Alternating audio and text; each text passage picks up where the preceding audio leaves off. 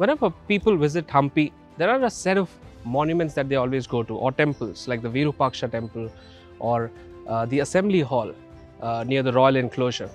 But there's this lesser known gem uh, just about 5 6 kilometers from uh, the main area, and this is the An- Ananta Shayana Gudi, which is in the town of Anantashaya, not too far from the main town. Now, this town is special in many ways because, one, uh, if you go by the Marxist interpretation, you often hear that the kings built temples to display their might and their strength. But this goes against that notion because this one was actually commissioned by Krishnadeva Raya himself in memory of his son um, who was poisoned.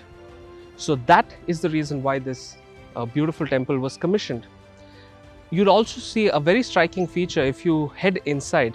You'll see what is perhaps one of the largest Garbhagrihas ever in the world, uh, but most certainly in India at least. So, if you come to Hampi, you should not give this one a miss. Just a beautiful temple to be a part of. Now, we're wrapping our day here in Hampi and we're heading on our way to Kudala Sangama. So, we'll be back with you with an update on that. See you.